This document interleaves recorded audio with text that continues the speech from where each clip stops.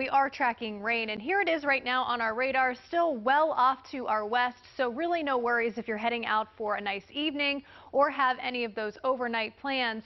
This rain is set to arrive through the day tomorrow, and I'll time all that out for you in here in just a few minutes. But right now, temperature-wise across the region, we're in the 50s in Baltimore, 57 in Washington, 55 in Frederick, certainly well above average for this time of year.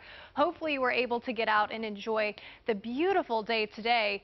Over the next couple of hours, notice those temperatures staying in the upper 40s, so through about 8 through 10 o'clock. After midnight tonight, clouds start to thicken up, and that's all due to that next system that we are tracking off to our west. Overnight lows going to be staying in the mid 40s, which is well above average for this time of year. 44 in Towson, Elkton at 42, Jessup at 45. And notice pretty much all of us going to be seeing those clouds on the increase. Through the day tomorrow, we're tracking rain, so we'll wake up with some patchy fog and also some areas of drizzle. Temperature wise, we're still quite mild. We'll top out at 55 degrees.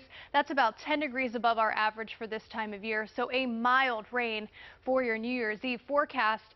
Let's time things out on Futurecast. So this is a look at 8 a.m. You can still see that rain off to our west. This system is pretty quick moving. So by about lunchtime, 1 o'clock, the steadier periods of rain push into the Baltimore area. We also notice some sh shades of yellow. This indicates the heavier rain, but possibly even a few claps of thunder, especially south of Baltimore.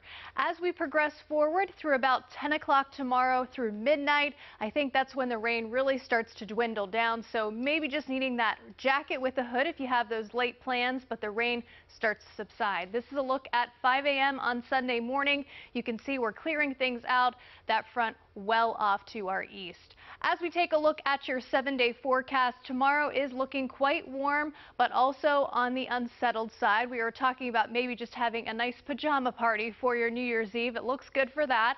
As we go through the day on Sunday, if you are heading out to the Ravens game, it'll be much warmer compared to our Christmas Eve. So thank goodness there. We're at 39 for an overnight low on Sunday. As we head into the early half of the week, we're drying out Monday. It looks very nice. Temperatures in the upper 50s with partly sunny skies. Our next weather maker looks to arrive Tuesday. It will come down as rain as we notice those temperatures still in the 60s.